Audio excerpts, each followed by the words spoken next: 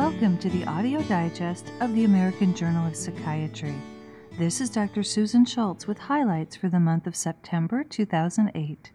Please note that the full text of all articles may be viewed online at ajp.psychiatryonline.org, including all author affiliations and disclosures. We'll begin with our Treatment in Psychiatry feature. This month, Katharine Phillips and colleagues focus on body dysmorphic disorder. Then we'll turn to three articles on how mood disorders or their treatment are related in parents and children. Then we'll highlight substance use disorders. Laura Jean Bierut and colleagues report on variants in nicotinic receptors and risk for nicotine dependence. And David Gilder and colleagues report on factors associated with remission from alcohol dependence in an American Indian community group. We'll also feature an editorial discussing the Gilder article by Joe Westermeyer. Our final article will be a report by Laura Almasy and colleagues on a genome screen for quantitative trait loci influencing schizophrenia and neurocognitive phenotypes. Then we'll present an editorial by Linda Brzustowicz and Anne Bassett on using quantitative traits in genetic research. Let's start with the Treatment in Psychiatry feature, which illustrates a problem in current clinical practice. This month, Katharine Phillips and colleagues present Body Dysmorphic Disorder, treating an under-recognized disorder. Patients with this condition are preoccupied with an imagined or slight defect in appearance. They feel ashamed of their perceived ugliness and feel anxious around other people. Nearly all patients have impaired social functioning. Most of them also have impaired academic or occupational functioning approximately 80% report a history of suicidal ideation, and about one fourth have attempted suicide. In community samples, point prevalence rates as high as 2.4% have been reported. However, the disorder often goes undiagnosed. Many patients are ashamed of their symptoms and are reluctant to reveal them to others. Thus, clinicians need to be alert to clues that the condition is present. Nearly all individuals perform time consuming repetitive behaviors to check, hide, or improve their perceived appearance flaws. Common behaviors are mirror checking, camouflaging the perceived defect, comparing oneself to others, grooming excessively, seeking reassurance, touching the so called defect to check it, dieting, and skin picking. Avoidance behaviors are also common. Before treatment, most patients have poor insight. Up to 39% are delusional and are convinced that their view of their appearance is accurate. In addition, a majority believe that other people take special notice of them in a negative way because of how they look. Body dysmorphic disorder frequently is comorbid with major depression, substance use disorders, obsessive compulsive disorder, or social phobia. However, clinicians need to distinguish it from disorders with similar symptoms. It differs from social phobia in that the fears of negative evaluation are due to concerns about physical appearance, and compulsive behaviors are prominent. Obsessions and compulsions also distinguish it from major depression. It differs from OCD, however, in the patient's focus on appearance, poor insight, and greater suicidality it can be difficult to establish enough of an alliance that the patient is willing to try psychiatric treatment. Many patients believe that cosmetic treatment is the solution to their problems. They would rather see a surgeon, dermatologist, or dentist than a psychiatrist. It can be particularly challenging to engage delusional patients in treatment. However, even patients who think that they have an actual physical problem can agree that they're suffering and have a poor quality of life. Focusing on the goals of diminishing their distress and improving their quality of life may help engage them in treatment. Motivational interviewing strategies that are modified for body dysmorphic disorder may be helpful in assessing patients' motivation and engaging them in treatment. It's important to empathize with their suffering it's recommended that clinicians neither dismiss concerns about appearance nor agree that there is something wrong with how patients look. Most patients can be treated successfully. Selective serotonin reuptake inhibitors and cognitive behavioral therapy are currently considered the first line treatments. Higher doses of SSRIs are often needed than are typically used for major depression. In studies of SSRI monotherapy, delusional patients were as likely to improve as those with the non delusional disorder. If one SSRI is not effective, another may be. Augmentation with other agents has not been well researched but may be useful. Clinical series and observations suggest that after SSRI monotherapy has been optimized, augmenting it for 6 to 12 weeks with buspirone, clomipramine, or an atypical antipsychotic, bupropion, or venlafaxine may be helpful. In some patients, lithium or methylphenidate is useful for augmentation. Preliminary studies of cognitive behavioral therapy for body dysmorphic disorder have had encouraging results. It has led to consistently good outcomes in studies of both group and individual treatment. For patients who are too severely ill or depressed to participate in CBT, an antidepressant may improve symptoms to the point where CBT is more feasible. For patients who are not motivated enough to do CBT, motivational interviewing techniques may be helpful. Next, we'll look at reciprocal relationships between mood disorders in parents and children. We'll begin with an analysis from the STAR-D study. Daniel Pilowsky and colleagues examined children of depressed mothers one year after the initiation of maternal treatment. Findings from the STAR-D child study. Baseline and follow-up assessments were conducted for 123 depressed women and their children ages 7 to 17. In the year after treatment began, more than half of the mothers had remissions. Their depression status was tracked by using their scores on the Hamilton Depression Rating Scale. The scores decreased markedly during the first three months, moderately for another three months, and then only slightly. At the beginning of treatment, about one third of the offspring had a current psychiatric disorder. The diagnoses were made by using the Schedule for Affective Disorders and Schizophrenia for school aged children. The number of symptoms was also recorded, with separate counts of those reported by the mother and by the child. Global functioning was assessed with the clinician rated Children's Global Assessment Scale. Over the one year of the mother's treatment, the number of diagnoses in the children did not change significantly. The number of child reported symptoms decreased by 3%, and the number of mother reported symptoms decreased by just over 1%. Scores on the Global Assessment Scale increased moderately during the first six months, with few changes after that.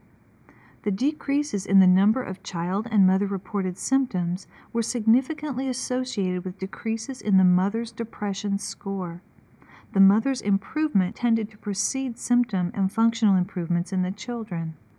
The decrease in children's symptoms was greatest for the children of women who had remissions during the first three months of treatment.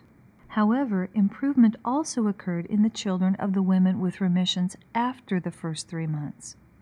Significant improvement was not observed among the children of mothers whose depression did not remit. Whereas most STAR-D treatments were medications, Holly Swartz and colleagues studied brief interpersonal psychotherapy for depressed mothers whose children are receiving psychiatric treatment.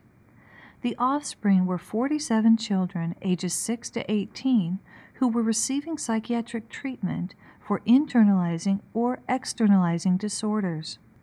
Their mothers were not seeking treatment but were diagnosed with major depressive disorder. The mothers were randomly assigned to treatment as usual or to nine sessions of interpersonal psychotherapy.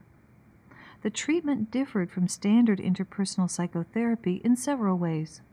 It was designed to be brief, and it used behavioral strategies to rapidly activate depressed patients. It began with an engagement session based on motivational and ethnographic interviewing and continued to draw on these strategies as needed during treatment. Also, it used specific strategies to help mothers manage problematic interpersonal relationships with their psychiatrically ill offspring. The The therapy sessions were offered to mothers at the same time and in the same location as their child's mental health visits. The depressed women assigned to treatment as usual were informed of their diagnoses, given psychoeducational materials, and told to seek treatment. They were given referrals to mental health clinics close to their homes and were encouraged to use these services. The mothers and children were assessed at baseline and at two follow ups. At three months, the mothers in the psychotherapy group had significantly more improvement than those receiving usual treatment. Differences were seen in their scores on several depression, anxiety, and global measures. At nine months, they had greater improvements on the Hamilton Depression Scale, the Global Assessment Scale, and CGI Severity Scale.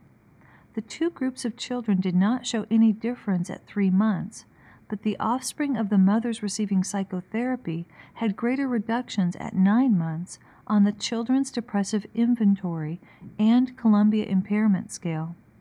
This lag in improvement among the children suggests that it was mediated by the mother's improvement. An environmental influence on the risk for depression in adolescents was examined by Erin Tully and colleagues.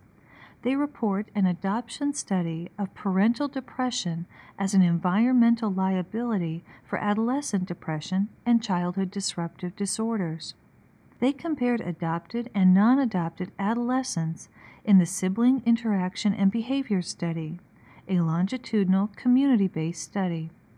More than 1,000 adolescents were included, along with over 500 mothers and 500 fathers. The rates of parental depression did not differ between the adoptive and non adoptive parents. Major depression in either parent or in the mother was associated with a greater likelihood of most psychiatric disorders in both adopted and non adopted adolescents. This similarity indicates a significant environmental component in the adolescent's depression. Depression in the father, however, was not a risk factor for any diagnosis except attention deficit hyperactivity disorder.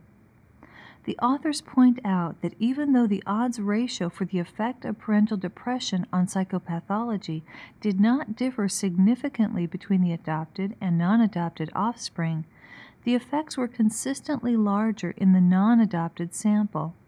For instance, for every child outcome where the effect of maternal depression was significant, the odds ratio was at least 32% larger in the non adoptive families. This trend is consistent with genetic as well as environmental influences. Genetic factors are the subject of our next article. Laura Jean Bierut and colleagues examined variants in nicotinic receptors and risk for nicotine dependence.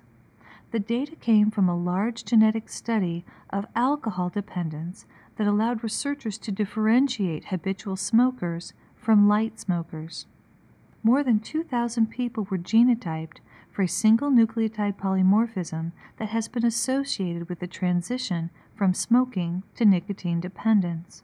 It results in a change in the gene for the alpha 5 subunit of the nicotinic acetylcholine receptor, which is located on chromosome 15. Testing was also performed on another genetic variant in a cluster of genes related to the alpha 5, alpha 3, and beta 4 receptor subunits. Habitual smoking was defined as ever smoking at least one pack of cigarettes daily for six months or more. Subjects were classified as unaffected if they had smoked at least 100 cigarettes in their lifetime, or had smoked daily for a month or more but had never smoked more than 10 cigarettes a day. Those who had never smoked were categorized as having an unknown phenotype. The results of genetic testing confirmed the previous finding of a relationship between nicotine dependence and the polymorphism linked to the alpha 5 nicotinic receptor subunit. In vitro studies were performed to test whether the amino acid variant actually influences receptor function. A nicotinic agonist was applied to cells expressing the more common sequence and to cells expressing the variant sequence. The variant sequence decreased the response to the nicotinic agonist but did not affect receptor expression. In addition, the occurrence of this genetic variant was compared in DNA from nine geographic regions that was obtained from a large DNA bank. The frequency varied dramatically. It was 37 to 43 percent in populations of European and Middle Eastern descent, but it was uncommon or non existent in populations of African, Asian, or Native American origin. In the cluster of genes associated with the nicotinic receptor subunits, another polymorphism was also associated with heavy smoking. It appeared to be independent of the first significant genetic variant and was related to the alpha 3 subunit. This finding also confirms previous results. Now let's turn to factors associated with remission from alcohol dependence in an American Indian community group, a study reported by David Gilder and colleagues. Also noteworthy were some of the factors that were not associated with remission. The participants were American Indians from eight contiguous reservations. Recruitment used a combination of methods, one based on venue for sampling hard to reach populations, and a respondent driven procedure. Each participant was at least 1 16th Native American and was between the ages of 18 and 70 years. They were assessed with the semi structured assessment for the genetics of alcoholism, which generates DSM 3R diagnoses. Of the 580 respondents, 254 were given lifetime diagnoses of alcohol dependence. Remission was defined as having no symptom of alcohol dependence for six months or longer at the time of interview. Of those with lifetime diagnoses, 59% met the criterion for remission. This rate is comparable to rates in studies of populations whose ancestry is predominantly European. Stepwise logistic regression analyses of factors putatively associated with successful remission identified several variables. Being older, female or married, having an earlier onset, and having self reported depression symptoms related to drinking. The absence of remission was associated with continuing to drink despite medical problems and having self reported anxiety symptoms from drinking. Some of the variables that were assessed but were not associated with remission were employment, first degree family history of alcohol dependence, degree of Native American heritage, childhood conduct disorder, anxiety and affective disorders, and ever having had treatment for problems related to alcohol use.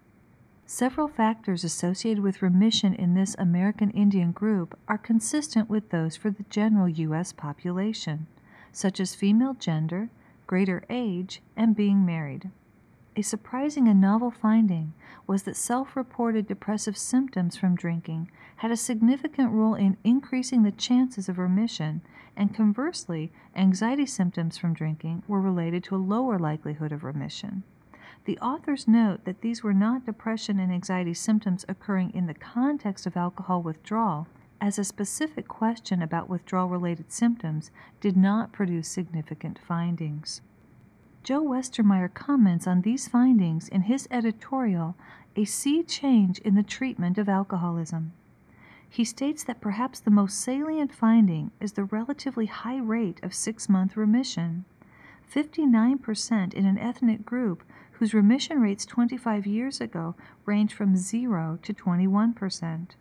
Over the last few decades, many tribal leaders have identified substance abuse as a major social and health problem. Also, many American Indian professionals and researchers have devoted their efforts to eliminating substance abuse from American Indian lives and communities.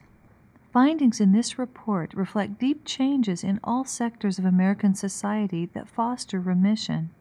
For example, in this study, only 36% of the people with alcohol dependence received specific treatment for alcohol problems. Today, many people in the United States achieve remission following brief interventions and ongoing support for sobriety from many sectors outside specialty alcoholism care.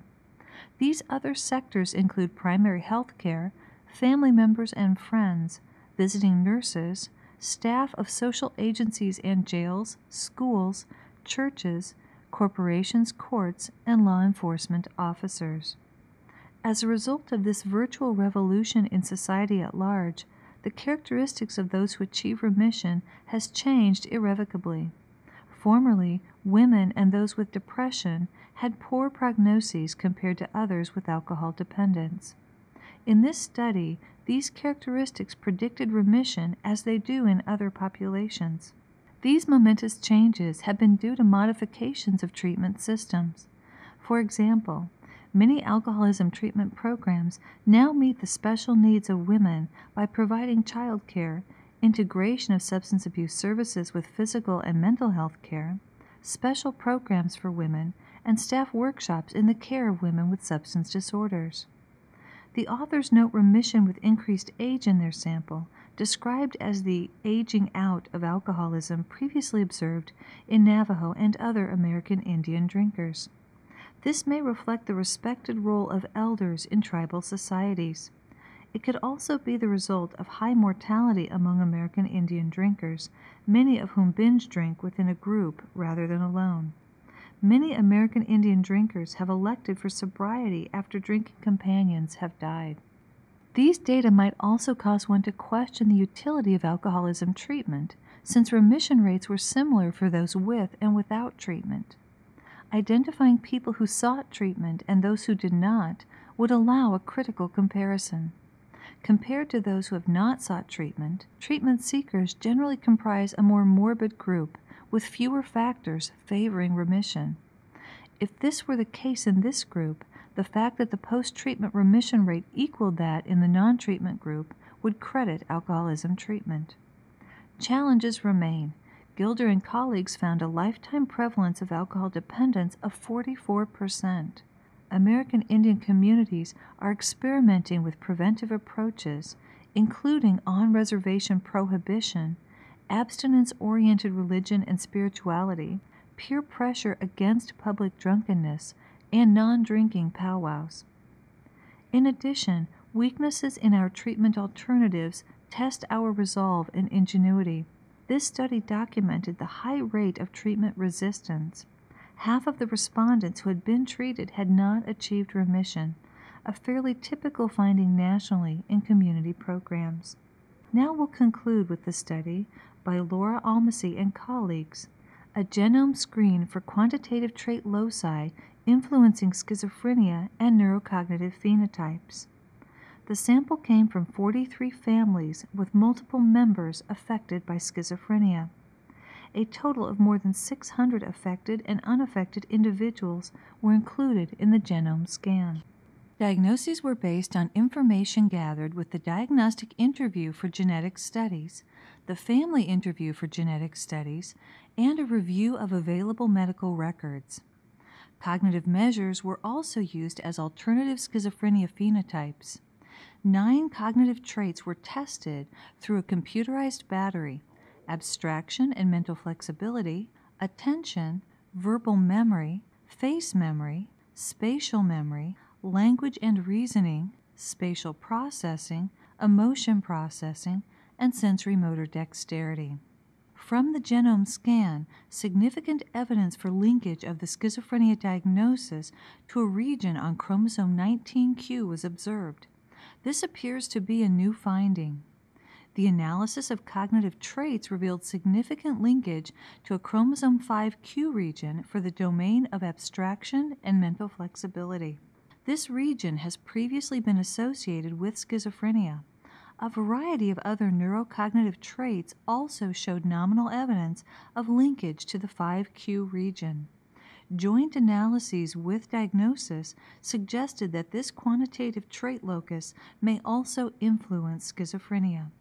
Lisa Brzustowicz and Anne Bassett comment on this study in their editorial, Phenotype Matters the case for careful characterization of relevant traits. They describe the strengths of using quantitative phenotypes. Ideally, the correlation between quantitative traits and the extent of DNA sequence that individuals share in each region of the genome can be assessed. This allows for a more efficient use of the genetic information unaffected family members who have abnormal scores on some measures can now contribute as much to the analysis as individuals with the categorical disease diagnosis. In addition, all individuals with a given diagnostic status, either affected or unaffected, are no longer considered phenotypically equal. The use of quantitative measures can provide a tremendous boost to the power of a linkage analysis when the trait involves expression of the genetic variants of interest. Two noteworthy linkage signals were detected in this study. One involved a quantitative phenotype, efficiency of abstraction and mental flexibility, and the other one was related to the categorical phenotype. Because multiple correlated phenotypes were used, it is difficult to assess if these results rise to a rigorous level of statistical significance after correction for multiple testing. Despite the theoretical advantages of quantitative trait analysis and testing of multiple plausible domains, the quantitative trait analysis was performed similarly to the analysis using categorical diagnoses. Each type of analysis identified one locus of interest with similar magnitudes of statistical support. So we may be left asking did the quantitative trait analysis live up to the expectations? To answer this question, we need to better understand some of the features of quantitative trait analysis. Quantitative trait linkage analysis outperforms a categorical analysis when the trait of interest is truly quantitative and the categorical analysis is based on a forced dichotomization of the trait.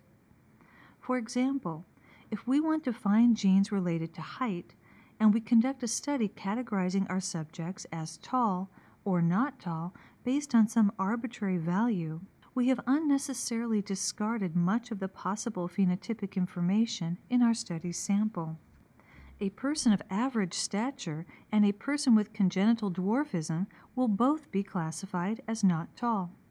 On the other hand, a person who is one centimeter taller than the cutoff will receive a different categorical label than the person who is one centimeter shorter than the cutoff. Suppose instead that the trait is something more complex, such as being a successful professional basketball player. We could readily derive a consensus definition of success, observing that the majority of players categorized as successful are tall, and that being tall tends to run in families, we might be tempted to conduct a linkage study of height as an endophenotype of basketball prowess, hypothesizing that genes that control height contribute to success as a basketball player. However, height is determined by the interplay of multiple genes as well as important environmental influences. Just because a trait can be accurately measured does not mean it will necessarily be simple to find the genes controlling it. Also, height may not be the most important factor in determining success at basketball. However, the situation is not this direct in the Almasy study. Schizophrenia, unlike success in basketball, has been demonstrated to have a significant inherited component. Its heritability is greater than 80%. The heritability of individual neurocognitive measures is less than that, but the measures such as those in this study show moderate levels of heritability, supporting their attractiveness as endophenotypes for schizophrenia. Such quantitative traits could increase power for genetic studies if they identified genetically relevant subtypes of schizophrenia or if their underlying genetic architecture was simpler than that of schizophrenia. To date, there is little evidence for either of these possibilities. The best phenotype for genetic studies of schizophrenia is not entirely clear. The Almasy study represents a very important empirical test of the utility of endophenotypes in linkage analyses of schizophrenia, and it suggests that there may be greater utility in combining endophenotypes with standard diagnostic phenotypes. For inherited genetic diseases, the goal is to discern the clinical definitions that most closely correspond with the genetic causes of the illness. The development of disease definitions usually includes surveying family members to determine what alternative forms the disorder may take. It is also critical to remember that genetic heterogeneity is the norm in nature, and a single clinical label does not imply an underlying homogeneous etiology a survey across the disease for clinically identifiable genetic subtypes can significantly decrease genetic heterogeneity. With few exceptions, these are not the processes used to derive the reliable psychiatric disease definitions we currently use. However, these categorical definitions demonstrate high heritability, have resulted in the most significant findings to date, and are the entities we wish to better understand. One may be tempted to consider using very large samples to test a quantitative or categorical trait hypothesis, but this will not guarantee success. In addition to potentially introducing greater genetic heterogeneity, increasing sample size at the cost of genetically relevant knowledge can result in a loss of power to localize susceptibility loci. While there is always the hope that the next new laboratory technique or statistical method will suddenly be able to find clear genetic signals where there were none before, the reality is that without excellent clinical data, the odds will always be heavily against us. Even technological advances that identify new molecular genetic entities, such as copy number variation, require detailed clinical characterization for interpretation.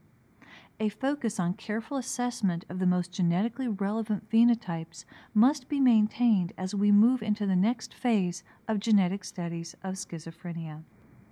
This concludes the audio highlights of the September issue of the American Journal of Psychiatry we invite you to our website, ajp.psychiatryonline.org, for the full text of these and other articles.